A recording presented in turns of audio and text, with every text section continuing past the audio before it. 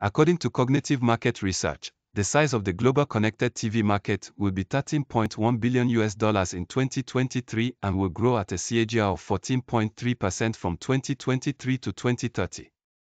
Market drivers Technological advances in the connected TV sector is driving the market growth market restraint customers growing worries about data leaks and unauthorized use of camera or microphone is impeding market expansion.